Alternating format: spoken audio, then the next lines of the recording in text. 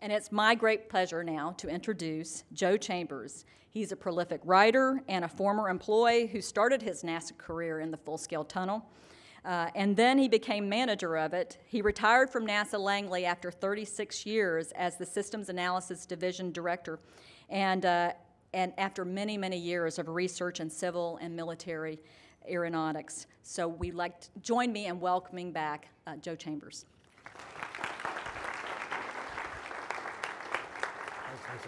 Thank you. Thank you, Lisa. Uh, gosh, what a thrill to look around and see all the, the peers and people that uh, wrote the history of this remarkable wind tunnel.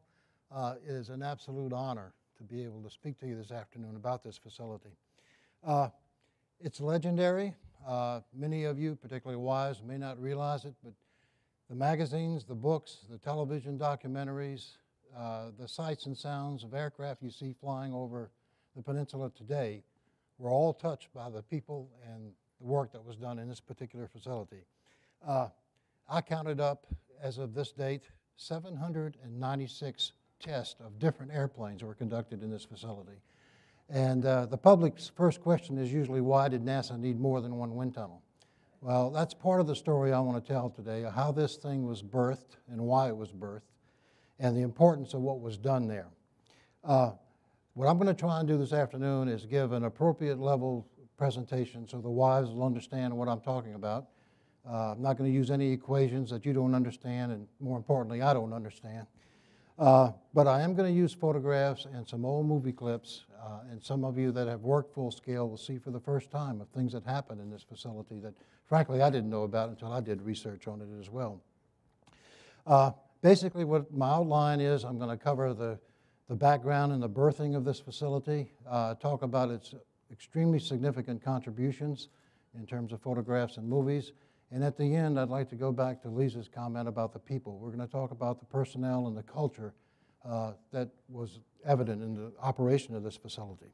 So, with that background in mind, let's start a little bit about history and grab my hand now as we go back into the, the 1915 era, no less, and talk about how this tunnel came to pass. Okay. Let's get oriented first. Uh, those of you aren't familiar with the area, uh, you are here, as they say in the shopping malls, in the uh, western west area of NASA. What we're going to talk about is the so-called east area of NASA, where it all began with uh, an organization called the National Advisory Committee for Aeronautics. 1915, the United States realized it was very far behind Europeans in the development of aircraft and uh, commissioned a group of 12 men, a uh, combination of military, government, and others, to help organize and orchestrate the problems of flight and advanced aircraft. They were given no salary. They were given a grand total of $5,000 to operate with and told to go do the job.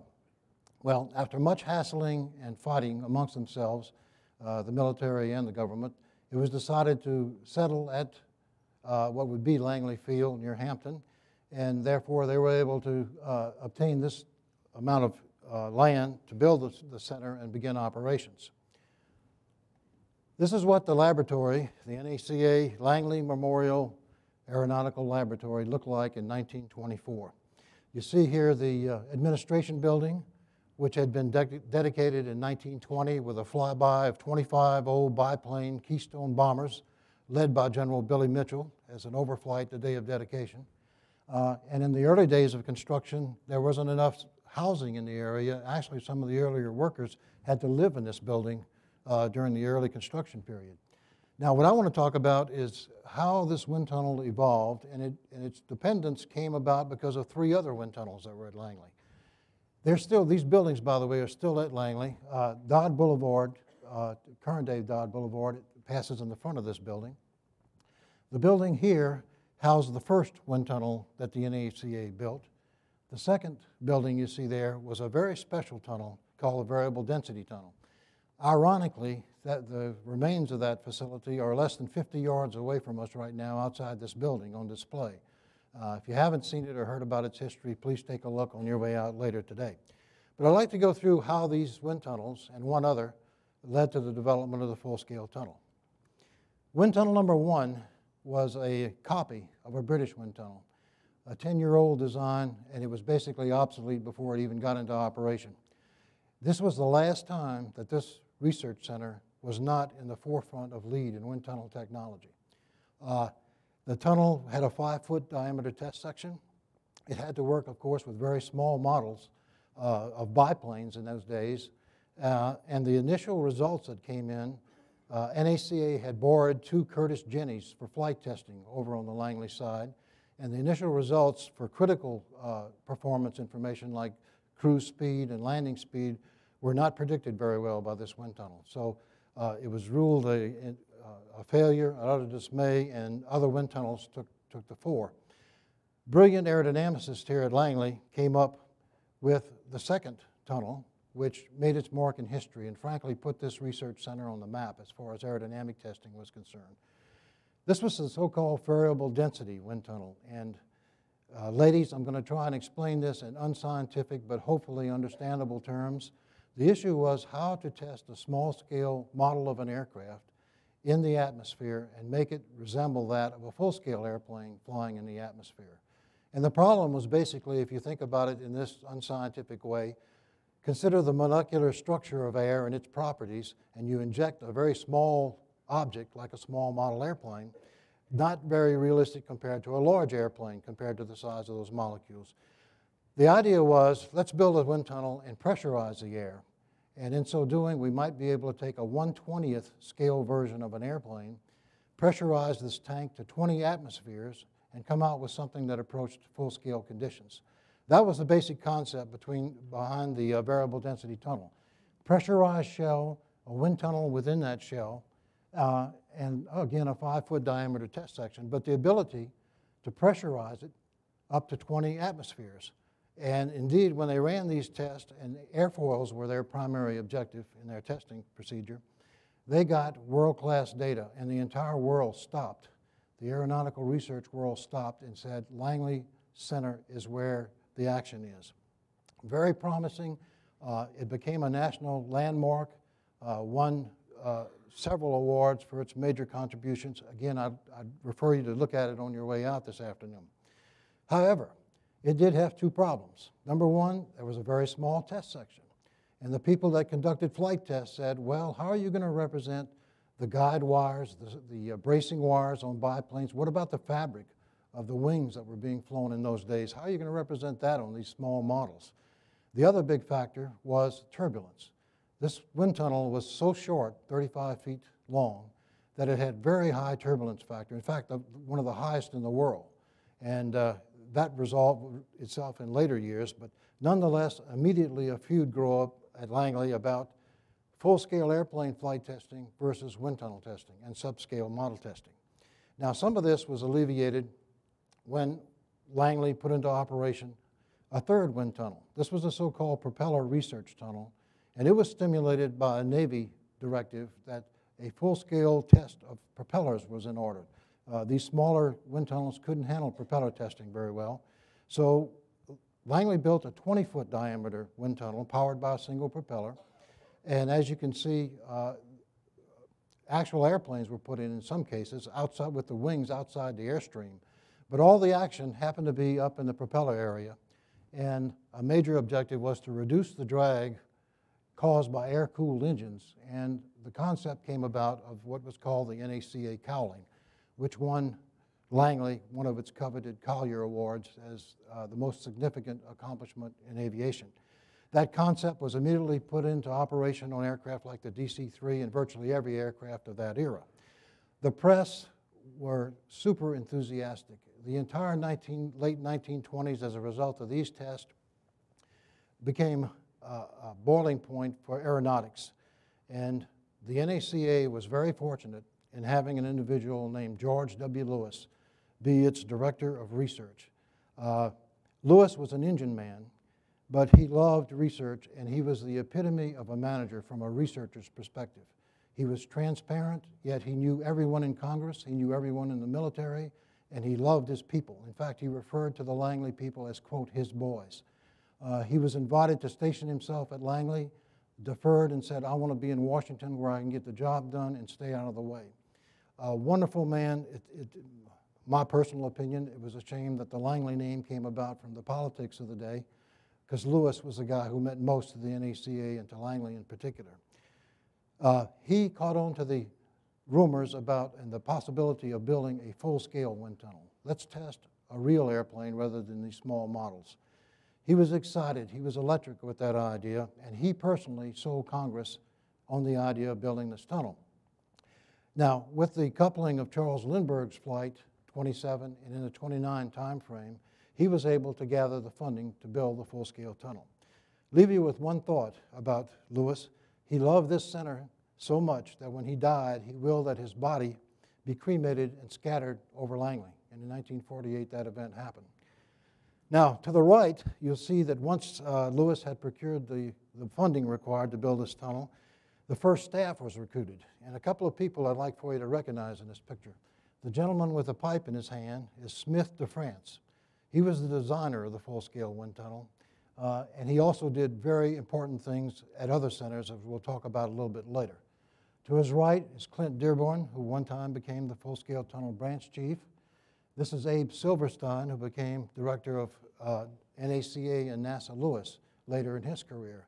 There were a, a powerful no, amount of very important people that worked on that initial staff at Langley. And again, I'll come back to them in a minute. Not shown here is the staff of technicians and mechanics that worked the facility, uh, but they were as equally as important in what they had accomplished in the facility as well. Now, the vision that they had uh, was shown on the left. A full-scale wind tunnel capable of testing airplanes in their vision, uh, current and in the future. And again, I remind you, we're talking biplanes when this all started. Uh, a wind tunnel that would measure 60 feet across, 30 feet high, be capable of speeds of a little over 100 miles an hour, and uh, in their minds at least, would be able to test aircraft for decades to come. Uh, the layout was such that the test section of the wind tunnel had no walls. This was a, a, a, concept that Eiffel, yes, the same guy that built the Eiffel Tower, had in mind uh, to minimize the effect of tunnel walls on the airflow through the tunnel. So the tunnel was set up to be powered by two 35 and a half foot diameter propellers, each driven by a 4,000 horsepower motor, and was what is called a closed return open throat tunnel. The air came through the test section went through guide vanes through the building and came back through the walls of the building to recirculate and minimize the energy expenditure to, to have the flow through there.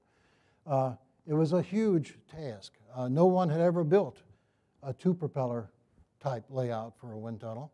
Uh, and there were tremendous tasks to be had in terms of determining the right structure. Now, I want to point out here on this cross sectional view, you can see the tunnel airflow circuit and the return passage. Please note that there was a considerable area underneath the air circuit because there were some things that happened in that area historically that are very important and have historically been overlooked, which I'm going to mention today.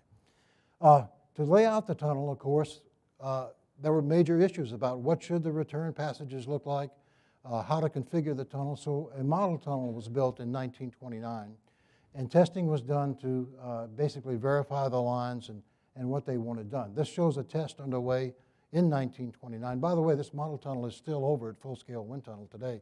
In the 50s, it was given to Portugal for research purposes, but it's still back over the tunnel today.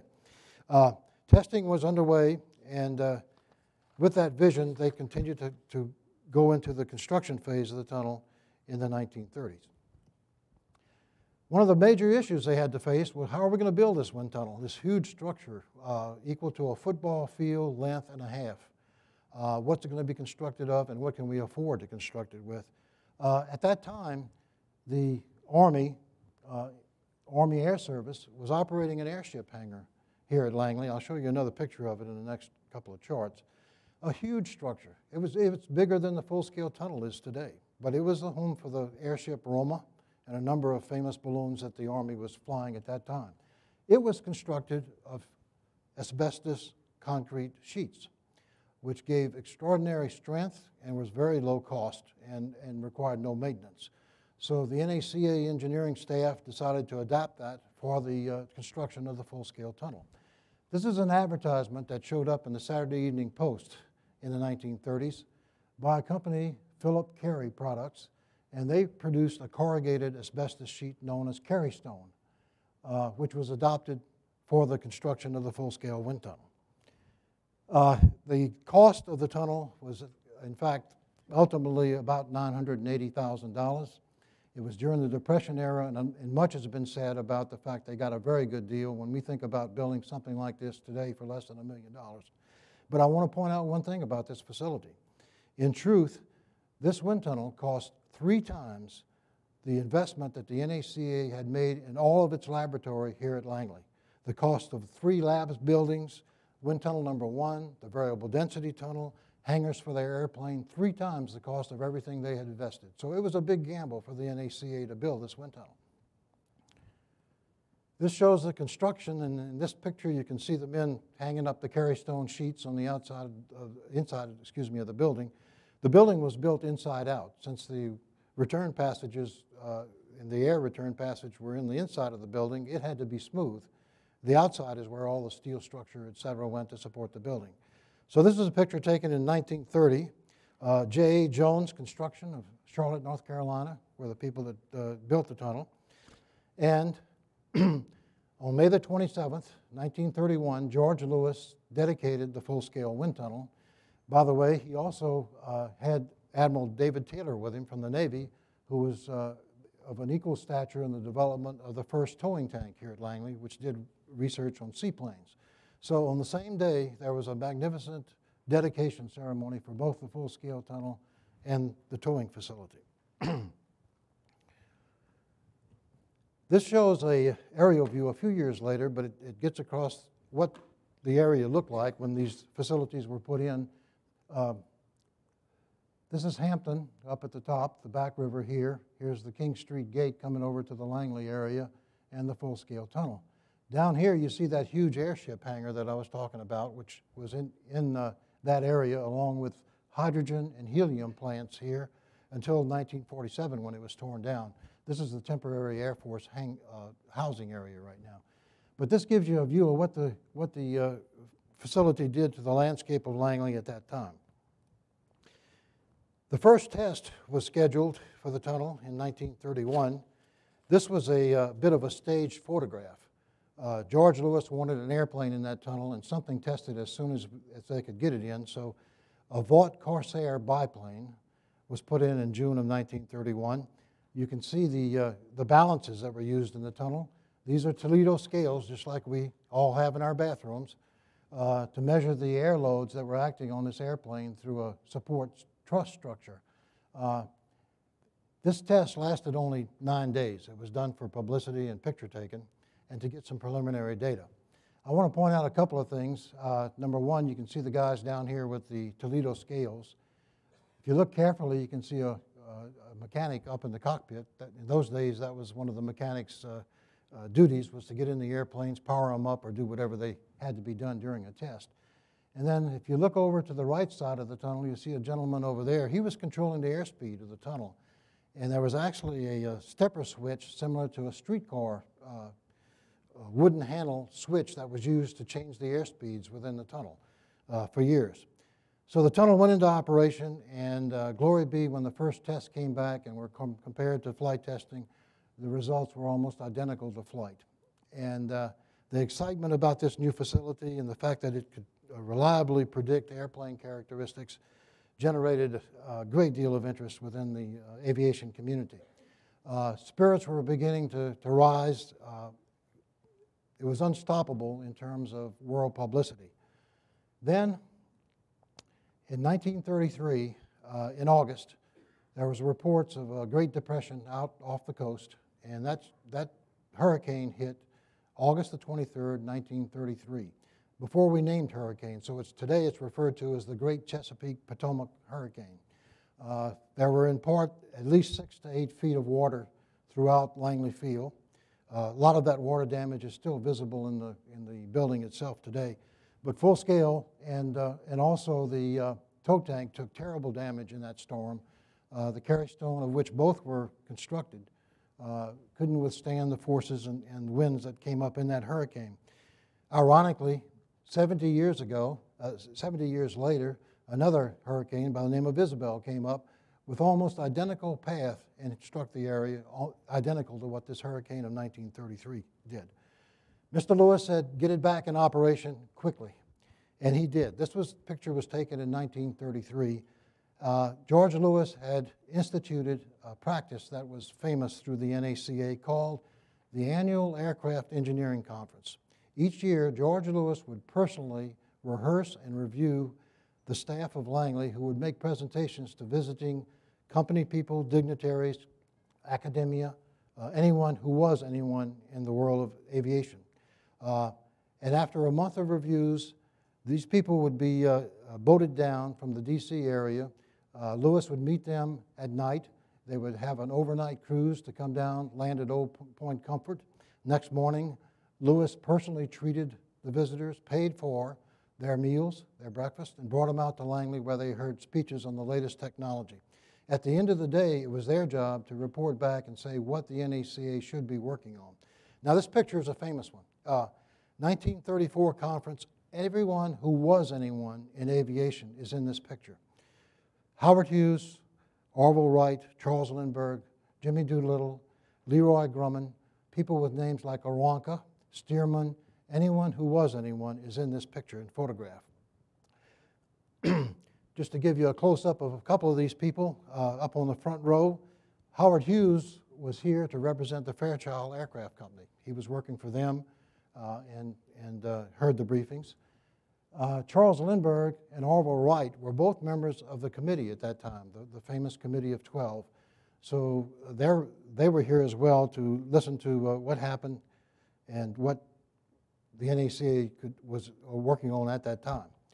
Now, I want to go back to this picture because in addition to all these Who Shot John VIPs who were up here in the bleachers, you'll notice up here a conglomeration of people. Well, as you would expect, half of those people were aerodynamic people here at the NACA. But the other half, strangely, were not aerodynamicists, they were structures people. And for years I worried about what were they doing in that picture. And uh, it's a part of, of Langley's history which has missed the historian's bet, but at that time, the NACA, of course, was very interested in loads imposed on aircraft flying in gust and turbulence. They had begun the development of the so-called VGH recorder, which was the forerunner of today's black box. And in the confines of this huge space of the full-scale tunnel, they had a testing technique which was quite, quite remarkable in what was accomplished. Now, this is a picture of a model that was used in these tests, and I'd like for you to notice the nose of this model has a harpoon on it. Uh, looks identical to a harpoon. And I'm going to run a movie that shows you what these people did in what was called the Langley Gust Tunnel. The idea was to fly a model through a vertically rising airstream that had been uh, tailored to represent a gust and to measure its accelerations and loads. The objective of these tests was to define design criteria for aircraft.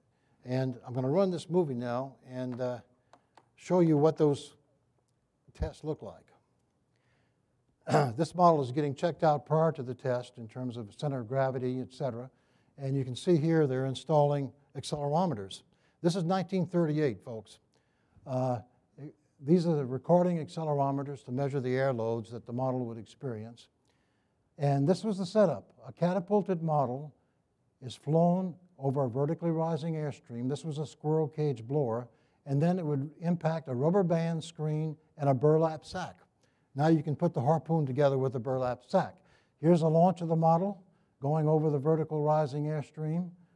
And uh, you can see at the end of the flight, it goes through these rubber bands and into this burlap sack. Uh, and this poor technician has the job of, for the rest of the afternoon, trying to get the model out. Now that was located uh, behind the propellers beneath the air section of the tunnel. Now what was important about the work, this was the work that was done during World War II and what was found in many cases we were over designing our aircraft by almost 20% in terms of structural weight because we didn't have sufficient information on the loads imposed on the aircraft during gust. So that's what those structures people were doing uh, back in the back section of the tunnel. 1930s, what, did, what was accomplished? Uh, the interesting part was when this wind tunnel was put into operation, George Lewis had done such a forceful job, there was no research program. Nobody had stopped long enough to think, what are we going to do with the wind tunnel when we get it built?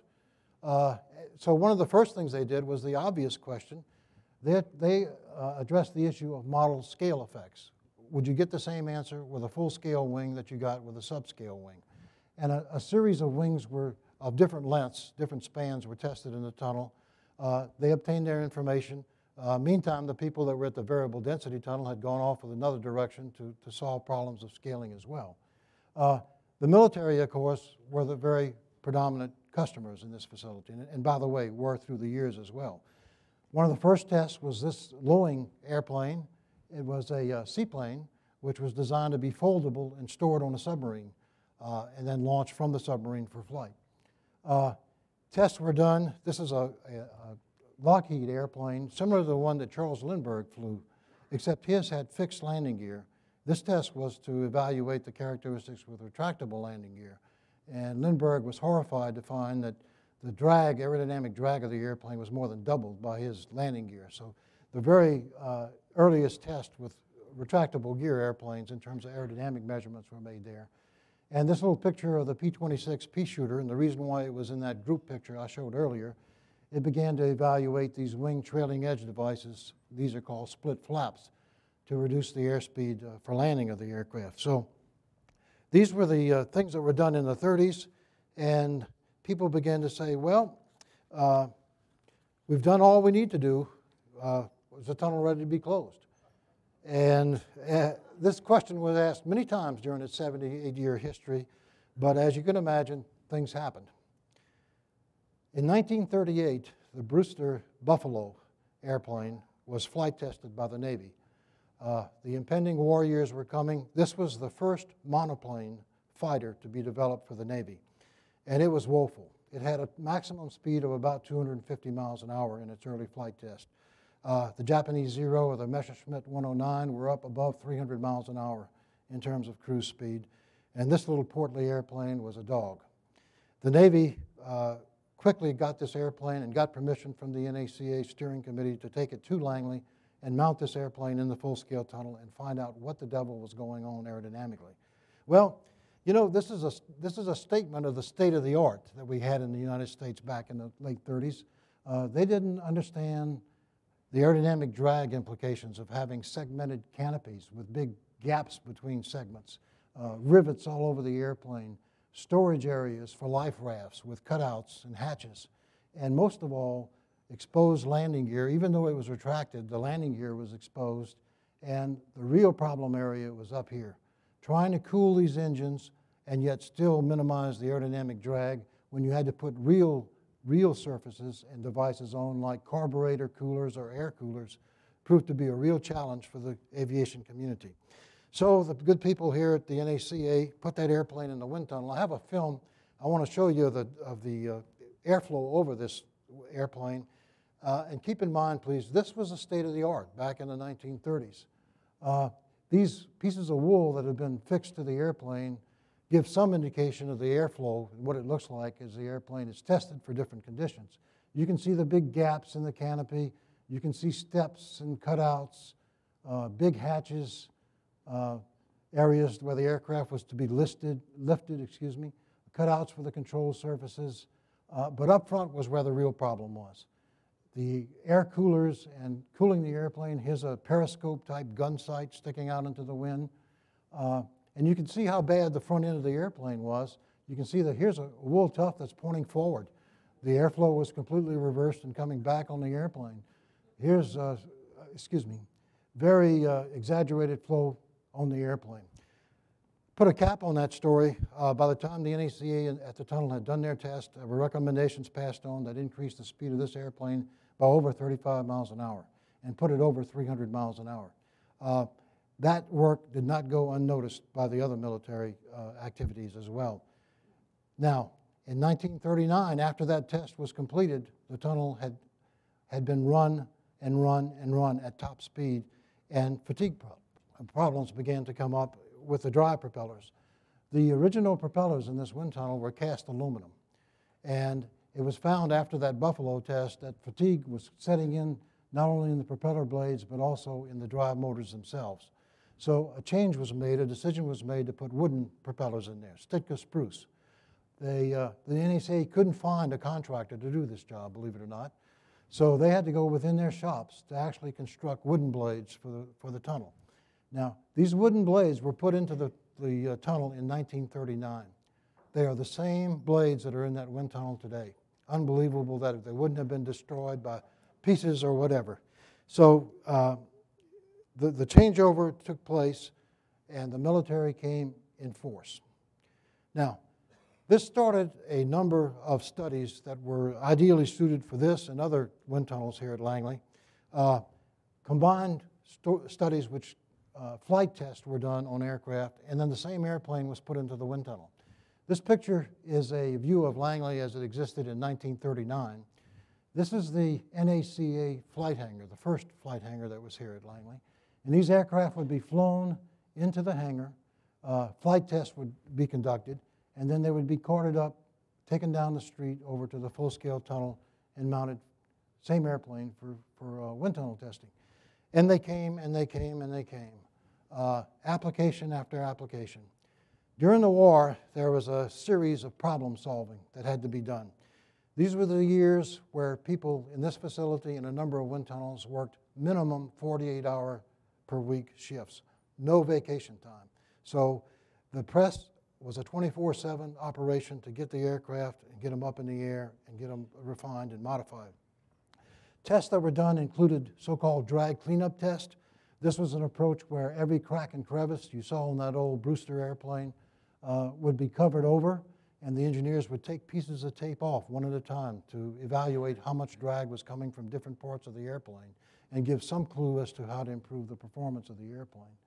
Uh, a number of our fighter airplanes had failures in their tail surfaces during dives or pullouts, and tests were done, in this case a P-40, uh, which suffered some early tail damage during those type of maneuvers. Uh, other problems, engine cooling. This is a wing section from a B-24 Liberator uh, that was tested to evaluate cooling and how to improve the cooling. These airplanes were subject to in-flight fires, both the B-24 and the B-29. So that type of test was done in the facility. And then later in the war, this picture of this Vought Corsair was a test done because of uh, load, excessive loads that they were encountering during carrier operations for the Corsair, where the folding wings, the hydraulics to, to power the wings and put them back into the flight position were incapable of overpowering the air loads during crosswinds. So there was a series of series after, uh, after this type of activity that continued on through the war years, and uh, it became the place to go for any type of aerodynamic type improvement. There's one particular story that uh, has somehow missed history that's very important and that this center contributed to in terms of solving this problem.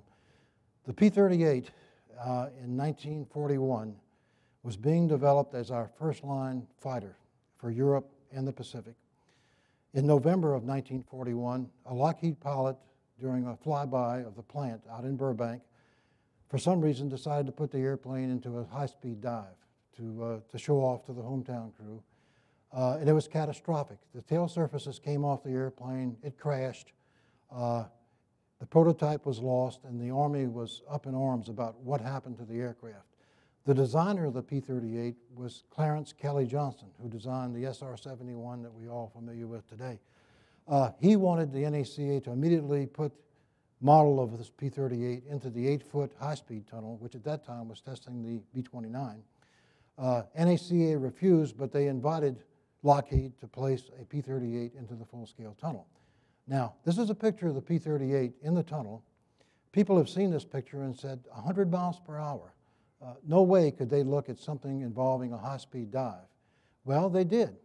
This picture, in addition to doing the drag cleanup test, if you look carefully at this airplane, the staff of the tunnel put pressure uh, instrumentation on the aircraft, and they could predict from these tests where the critical speed would be on the airplane that would form shock waves. And those shock waves, in turn, uh, reduce the, the uh, airflow to the extent of having separation, particularly over this intersection of the airplane, which was very bulky It had a very large radius, leading edge, not the type of airfoil to put on a high-speed airplane.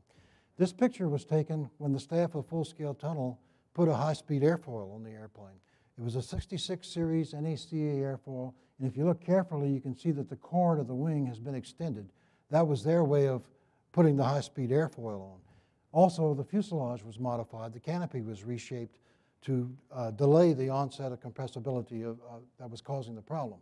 Now, that information was fed over to the people next door at the eight foot high speed tunnel, where it finally was able to be put in in February the following year.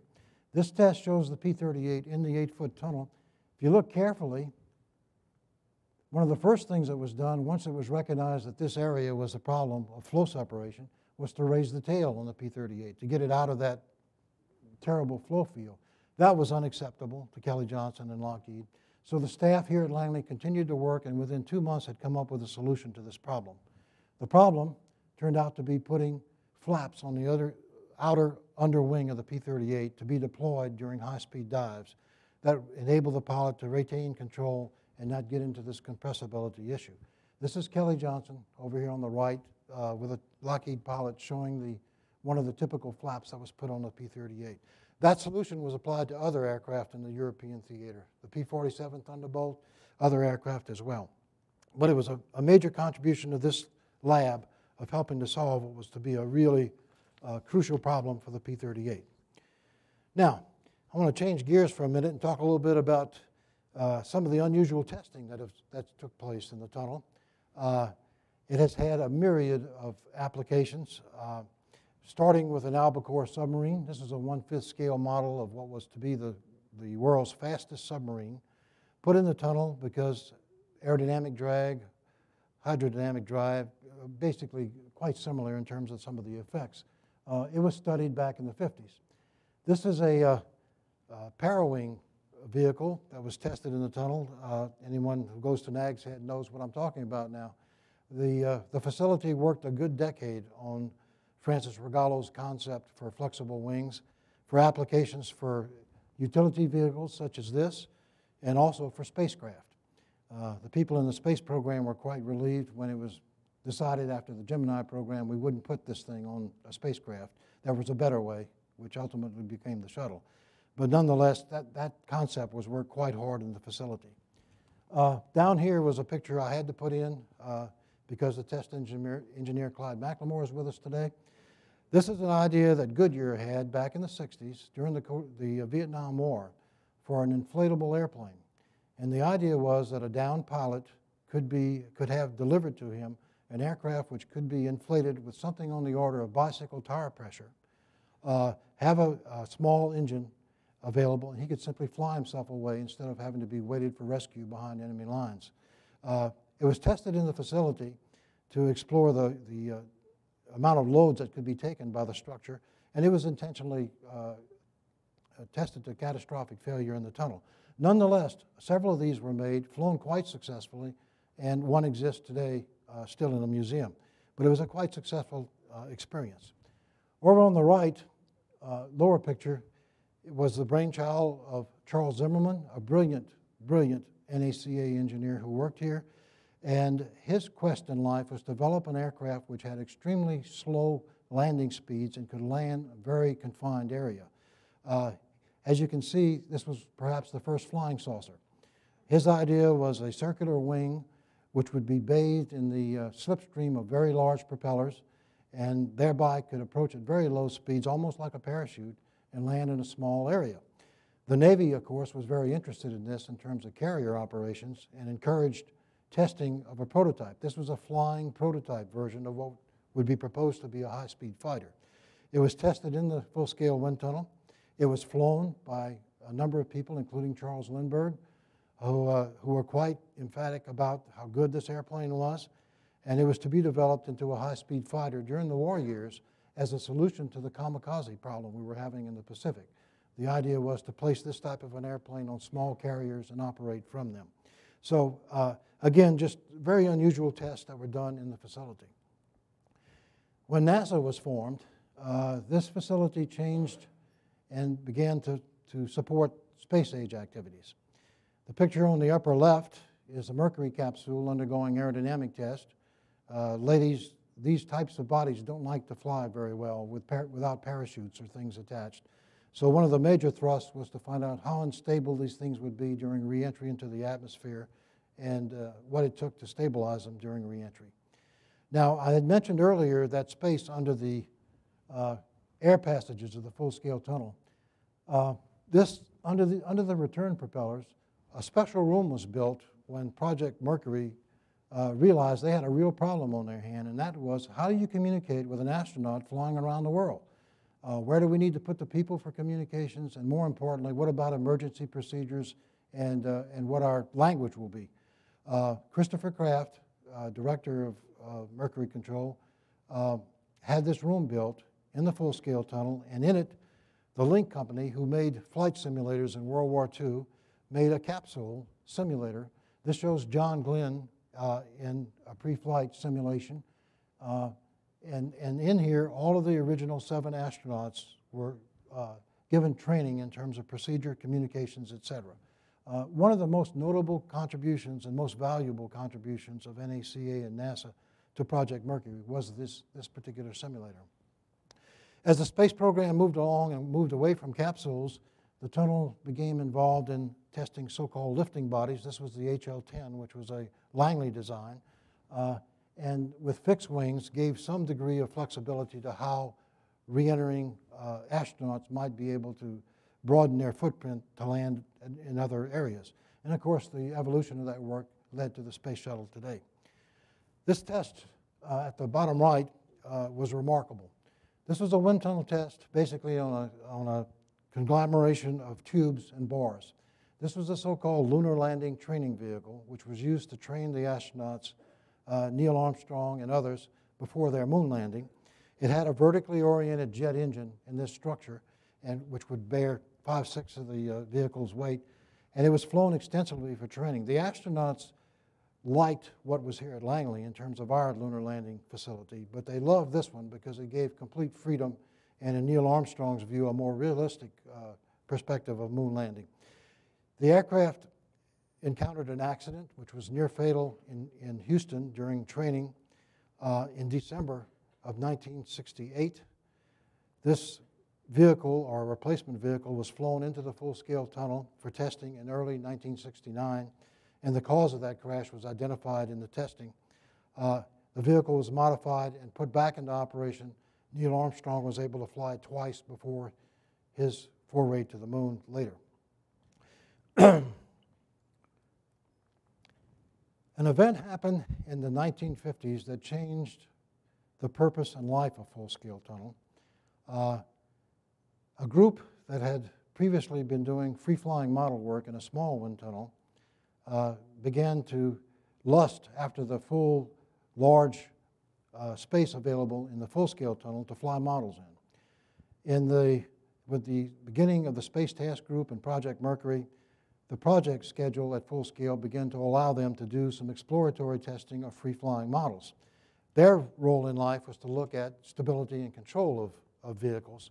And this shows a typical flight test that was done. This was back in 1957 where they, they managed to get into the tunnel for a brief time and evaluate the stability of a hypersonic boosted reentry vehicle. This was 1957, okay?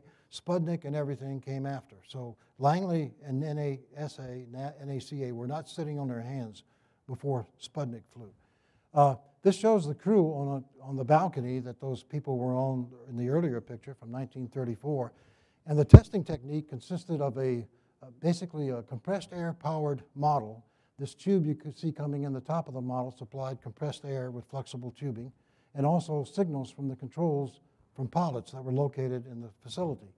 The pilots would sit on this balcony uh, and control, and the fellow that controlled the uh, level of compressed air was also there to control the thrust. A third person was situated on the ground plane of the facility, looking up at the rear end of the model where he could control the rolling and yawing, the side-to-side motions of the model. And uh, finally, a part of this cable was actually steel aircraft cable, which passed through a pulley at the top of the test section and then over to the side of the tunnel. And an individual was there to manually pull this model out of the wind tunnel if it went out of control. Now, I think about OSHA regulations and how we'd ever do a job like this today, but that's the way things got started. And I'd like to show you a clip that shows what these people were looking for. In this case, it was what will these vehicles fly like as they re-enter at hypersonic speeds. The scenes you're going to see are the first scene shows this model in flight at a relatively low angle of attack. The second scene is going to show what happened if the pilot would increase the angle of attack and encounter these unstable rolling oscillations. By the way, you see a second model mounted in testing in the tunnel. That was a unique feature of this wind tunnel where you could fly models in the daytime and shift a, and test another model at nighttime. It's one of the few wind tunnels that had could test two different models at the same time. So that was an idea of some of the uh, dynamic stability work that had happened during that activity. In modern times, we upgraded the, the testing technique uh, considerably. Uh, the addition, here's the cutaway showing the test crew in the balcony. It was enclosed. A high-speed uh, winch was used for safety cable operations. You can see the uh, roll and yaw pilot in the exit cone of the tunnel in a special room there. But the big to-do was we added a flight control computer. And the expertise of the staff in the tunnel, we were able to simulate the advanced controls used on modern high-performance airplanes, fighters or advanced uh, aircraft. I want to show a, a, quick clip of a typical flight test that, we, uh, that we've recently done with this blended wing body configuration. A point to be made, this test ap application was done for two primary purposes, either unusual um, advanced shapes for which there was no database available, this being a good case, or for a conventional airplane trying to fly in a flight condition that was not amenable to other means of analysis.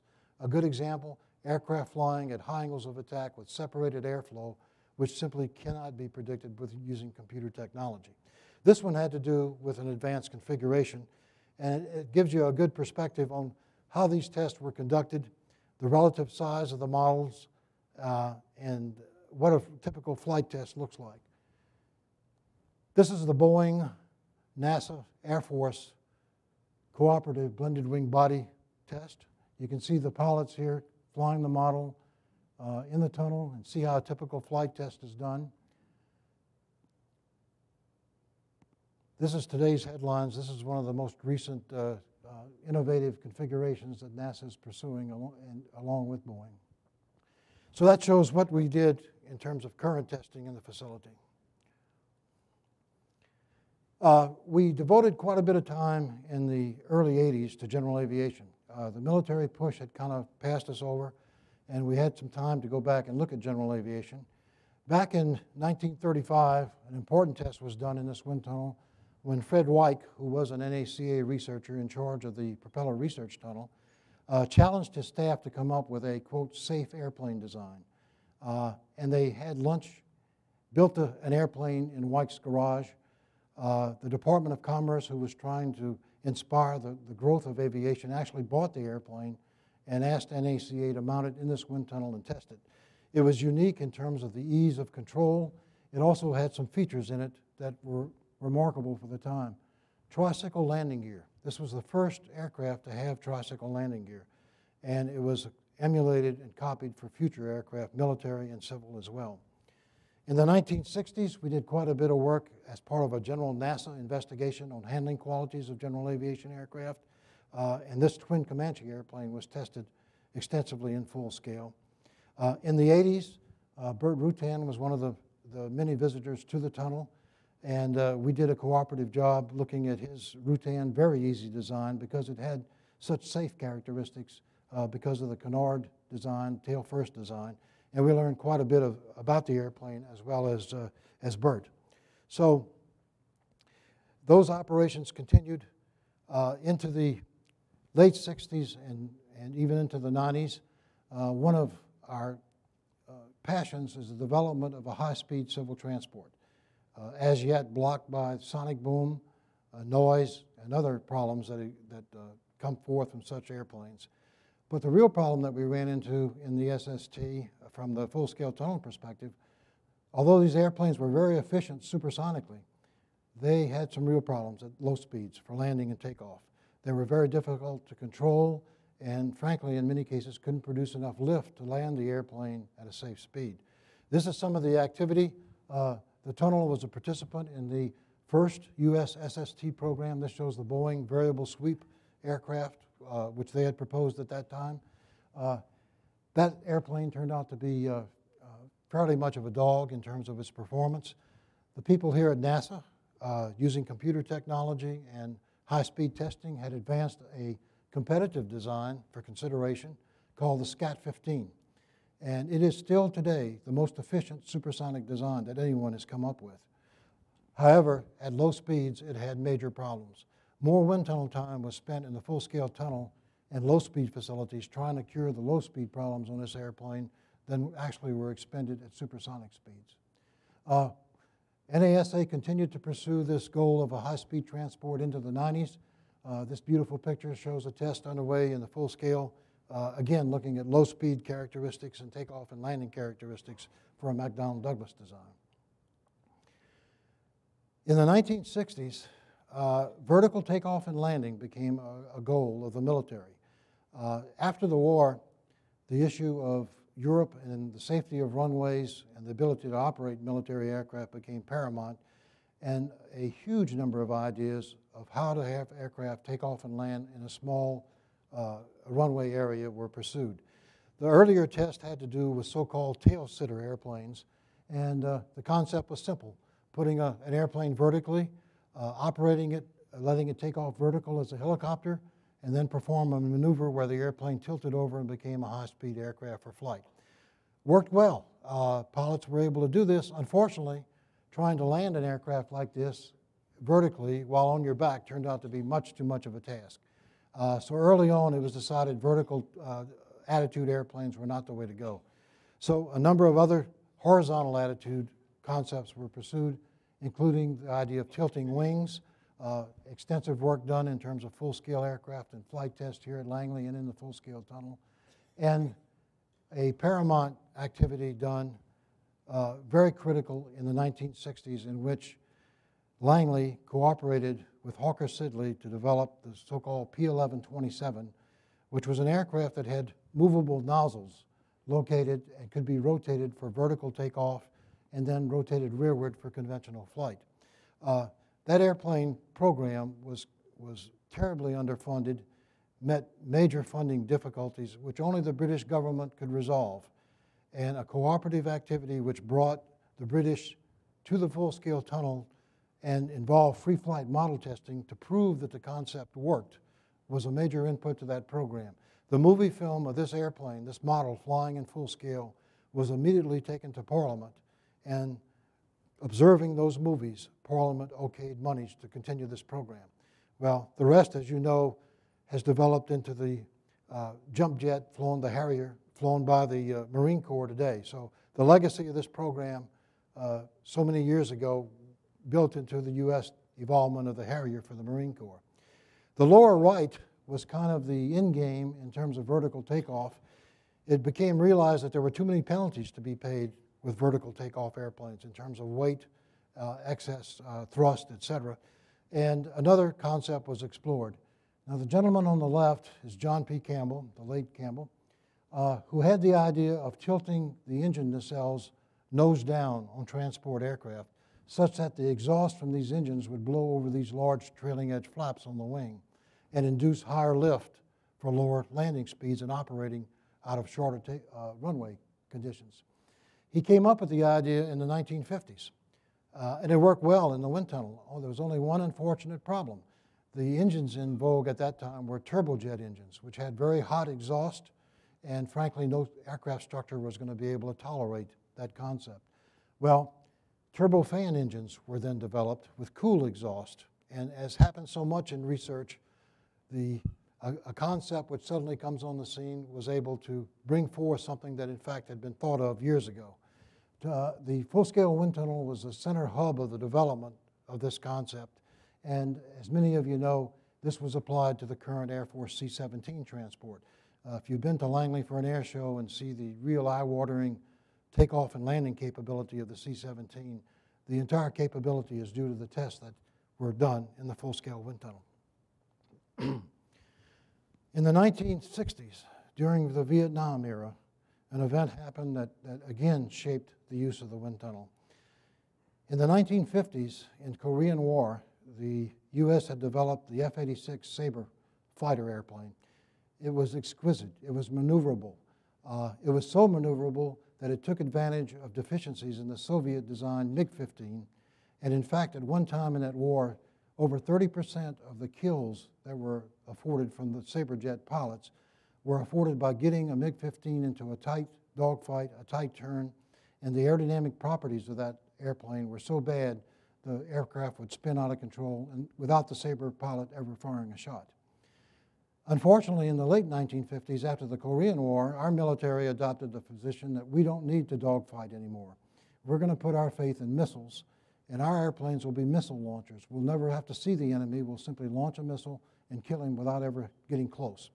So we developed an entire fleet of different aircraft that had to be used during the Vietnam War who were missile launchers.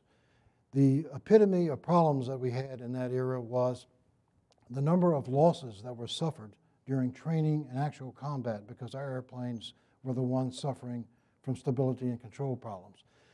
The main part of that story was the F 4 Phantom, uh, an aircraft to be a missile launcher.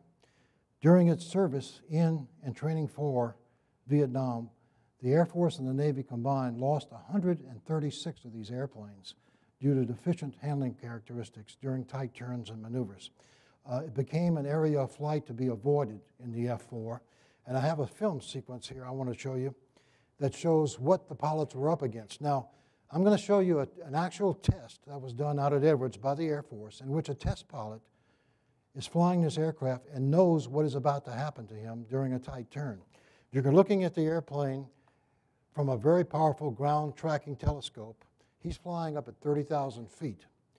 And what he's doing is he's going to turn the airplane, and you get an awkward perspective because of that ground mounted camera, but he'll turn the airplane and begin to pull G's and, and tighten the turn of the airplane.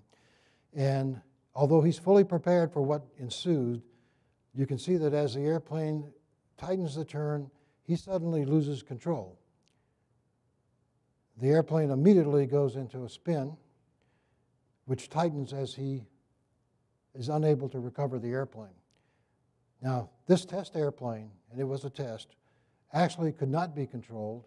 He deployed a parachute to try and recover the airplane, which left the airplane, and this airplane crashed. The crew had ejected safely, but it gives you a perspective on how violent these maneuvers were and why we were losing so many airplanes.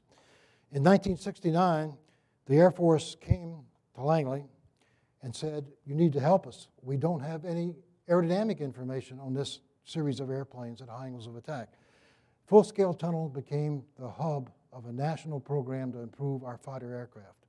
Uh, picture at the top left shows modification that was arrived at after test in the 7 by 10 foot high speed tunnel and the full scale tunnel, which leading edge devices were put on the F-4, and it completely eliminated the problem with this airplane for high angles of attack. Uh, we didn't lose any aircraft once we put these things on the airplane. Uh, seeing that type of success and correlation that we had with the, the real world, the Air Force and Navy immediately lined up at the door, and virtually every high maneuverable aircraft developed for the services went through full-scale wind tunnel with this type of testing to evaluate their characteristics, all the way through the current uh, Navy and Air Force aircraft. So those tests were done. I might also add that research aircraft were added to, to ensure that uh, their characteristics were satisfactory. But every aircraft for the next 30 years went through full-scale tunnel for that testing.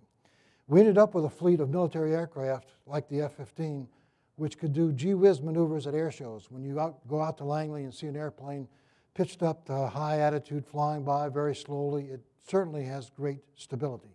But the issue remained about how to get maneuverability out of the airplane. And the people here at the 16 foot transonic tunnel had developed a concept called thrust vectoring. And it basically consisted of movable, rotatable nozzles on the back end of the airplane, which might provide uh, a better signature for the aircraft in terms of radar or infrared signature and we in the high angle of attack business really saw an application for controllability of aircraft during maneuvers. I want to show a segment here of a free flight test. This is of a, a modified F 16, which NASA cooperatively uh, designed with the people uh, at General Dynamics to give the F 16 a supersonic capability based on our uh, supersonic transport experience. Uh, over at the full scale tunnel, we applied thrust vectoring to this airplane, and this will show you a demonstration of how powerful uh, thrust vectoring was to control this aircraft.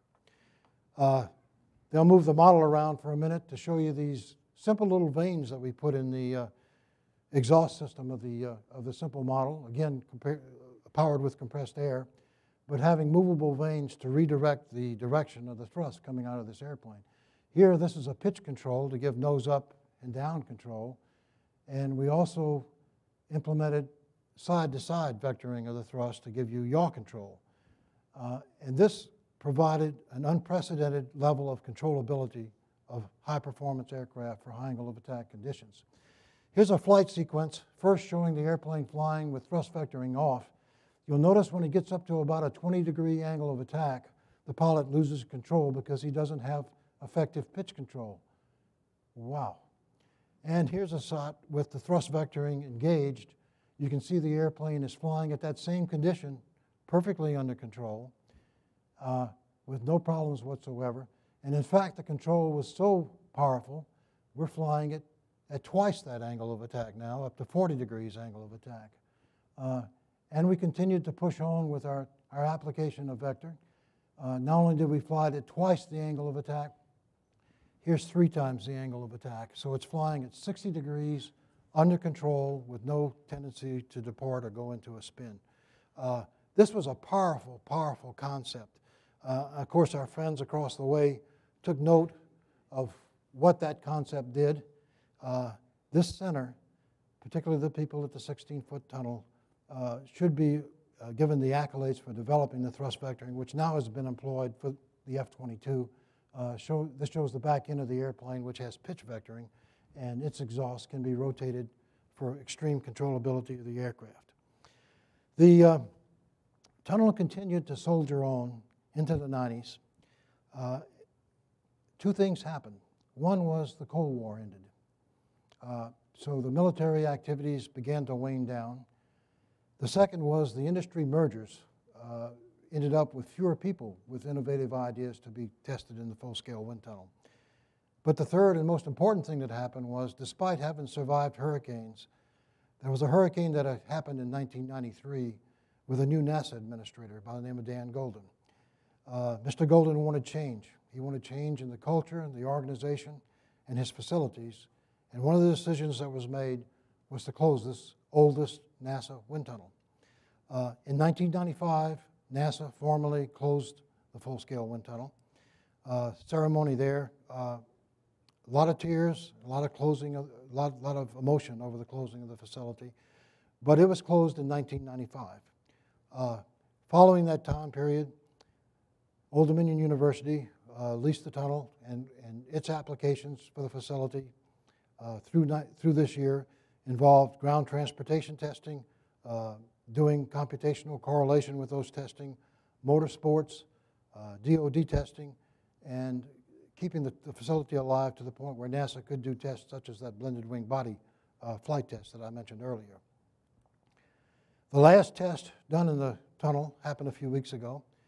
This was a follow-on testing of the X-48C, uh, and the tunnel has since closed its doors. The tunnel in 1985 was recognized along with other facilities here at Langley as a historic landmark. Uh, full-scale tunnel, the variable density tunnel I mentioned earlier, which is uh, on the grounds here. Langley's Lunar Landing Research Facility, the gantry, and the rendezvous and docking simulator, which was so pertinent to the Gemini program uh, and early space ventures. Uh, the three wind tunnels at the top are now closed uh, and, uh, and continue to be recognized in history. After 78 years of service, uh, our princess became old.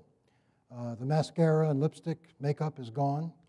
Uh, the facility is as you see it today uh, with rust and exterior wear uh, and be in a position now to be recognized in history for its contributions. I want to talk about the personnel of this wind tunnel. This is the unique situation of having no less than four NACA NASA Center directors come from that facility. Smith DeFrance, the, the fellow who designed the tunnel, uh, left Langley in 1940 and was directed to be the uh, brains behind the formation of the NASA Ames Research Center. Abe Silverstein, who was directed to become the, the NASA Lewis uh, director in Cleveland. And Harry Goett, who was on the staff, became the first director of the NASA Goddard Space Flight Center. Delma Freeman, who's here today uh, and worked with me in the 1960s in Full Scale Tunnel, became the director of Langley in 2002. So you know, there, there, are no other wind tunnels or organizations that provided four future center directors uh, for the agency. This is a list of the branch heads that have uh, run the tunnel through the years from 31 through 95 through the NASA years. And the point that I wanted to make on this, on this uh, chart, when we named Dana Dunham to be the head of that wind tunnel in the late 90s, she became the first female head of a wind tunnel branch at Langley, another first for the facility. I want to briefly talk about the staffs that work the facility. I showed you this photograph of the first staff. Uh, in the 1930s, there was a very important gentleman who worked in the full-scale wind tunnel. Uh, he's down here in the lower left, looking up at the so-called Zimmer skimmer that we talked about earlier. Uh, Jack Reeder came to the full-scale wind tunnel in 1938 with a desire to become a pilot. And in those years, simply, there was no pilot positions available. Uh, finally, in 1942, Jack transferred to flight research, became world renowned as one of the outstanding test pilots and managers of flight research ever in the, aviation, in the annals of aviation history. And I think the, the, the, greatest accolade I've heard paid to Jack was Neil Armstrong, who was one of Jack's favorites, referred to him as the best, the best test pilot I've ever known which is a real tribute to a real gentleman. This is a staff from 1946. Uh, as it went through the years, uh, the organizational uh, demands of the facility and structure changed so that other tasks were taken. People were not only running the wind tunnel, but they were doing other jobs like using simulators or doing theoretical work. So in these pictures, not everybody ran the wind tunnel. Uh, they weren't all in the wind tunnel. This picture in 94, uh, I wanted to make a point. When we ran the full-scale wind tunnel, the Langley apprentice and co-op programs were very big in our planning. We needed that manpower, that additional help, and the students that were assigned to full-scale tunnel uh, considered it to be the cream de la cream. This was the competitive position to be assigned to when you came to Langley. So we had quite a few uh, co-op students and a huge educational tie to the uh, academic community during the operation that we ran over at Full Scale Tunnel. I want to make a point to everyone who worked in Full Scale Tunnel that the center is currently involved in a major archiving activity uh, to save material, photographs, documents, etc., so that they will be available for future generations the history of the full-scale tunnel and, and other major facilities here at Langley are being made available on public demand. There are photographs available. The tunnel test log is available. Uh, and also virtual tour where you can look at the wind tunnel from the inside and see scenes. Uh, recognizing the world as what it is today, we're even posting movies of the tunnel on YouTube so you can go and see some of the testing that you were involved in. The technical reports are available on the NASA Technical uh, Report Series. When you go to these sites, you'll see a page for each of the major NASA facilities. This one shows the full-scale tunnel. And you can see by clicking on any of these, you can get the history, the photos, the film clips, the tours, and interviews of people that work there. And by the way, today we would like to interview those people that would like to say a few words about their career over at Full Scale. Uh, if you're not a computer literate person, go to your library. Ask the librarian to put you online and reach these sites. Uh, you'll enjoy seeing your history retold. My last chart is just a reflection um, of all the history that happened in this wind tunnel. Uh, much of it has been overlooked. Much of it is still enjoyed. At one point, uh, the magazines and articles you read referred to this as the Langley Wind Tunnel. So it will never be erased from history. And the next time you're at an air show and you see a flyby of Heritage Flight, realize that every one of these airplanes from World War II on was touched by people that worked the full scale tunnel. I want to close with one last thought. There has been one individual who, in my research, has been outstanding in terms of devotion to the full scale tunnel, spent more time in that wind tunnel than anyone else in history. Uh, worked there for 33 years as a research engineer and has continued on for 14 more years as a consultant and knows more about that place than anybody else. I'd like Sue Grafton to stand up and be recognized.